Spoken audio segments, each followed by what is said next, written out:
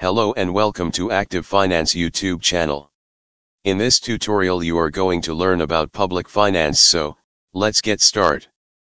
What is public finance? In simple layman terms, public finance is the study of finance related to government entities. It revolves around the role of government income and expenditure in the economy. According to Professor Dalton in his book Principles of Public Finance states that public finance is concerned with income and expenditure of public authorities and with the adjustment of one to the other. By this definition, we can understand that public finance deals with income and expenditure of government entity at any level be it central, state or local. Components of public finance The main components of public finance include activities related to collecting revenue, making expenditures to support society, and implementing a financing strategy, such as issuing government debt. The main components include Tax collection. Tax collection is the main revenue source for governments. Examples of taxes collected by governments include sales tax, income tax, a type of progressive tax, estate tax, and property tax. Other types of revenue in this category include duties and tariffs on imports and revenue from any type of public services that are not free. Budget The budget is a plan of what the government intends to have as expenditures in a fiscal year. Expenditures Expenditures are everything that a government actually spends money on, such as social programs, education, and infrastructure. Much of the government's spending is a form of income or wealth redistribution, which is aimed at benefiting society as a whole. The actual expenditures may be greater than or less than the budget. Deficit slash surplus.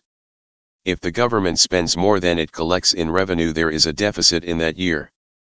If the government has less expenditures than it collects in taxes, there is a surplus. National debt.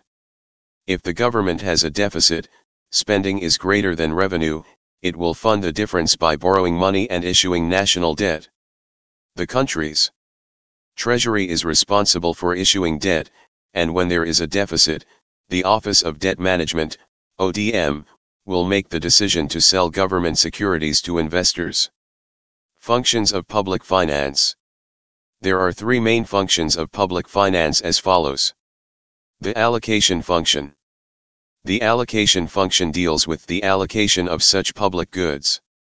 The government has to perform various functions such as maintaining law and order, defense against foreign attacks, providing healthcare and education, building infrastructure, etc. The list is endless. The performance of these functions requires large-scale expenditure, and it is important to allocate the expenditure efficiently. The allocation function studies how to allocate public expenditure most efficiently to reap maximum benefits with the available public wealth. The distribution function. There are large disparities of income and wealth in every country in the world. These income inequalities plague society and increase the crime rate of the country. The distribution function of public finance is to lessen these inequalities as much as possible through redistribution of income and wealth. In public finance, primarily three measures are outlined to achieve this target. 1. A tax transfer scheme or using progressive taxing, i.e. in simpler words charging higher tax from the rich and giving subsidies to the low income. 2. Progressive taxes can be used to finance public services such as affordable housing, healthcare, etc. 3. A higher tax can be applied to luxury goods or goods that are purchased by the high income group, for example, higher taxes on luxury cars. The stabilization function. Every economy goes through periods of booms and depression. It's the most normal and common business cycles that lead to this scenario. However, these periods cause instability in the economy.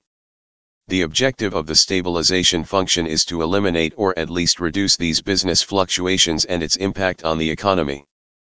Policies such as deficit budgeting during the time of depression and surplus budgeting during the time of boom helps achieve the required economic stability.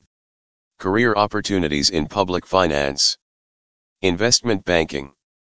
An investment banking career in public finance domain entails raising funds for the development of public projects.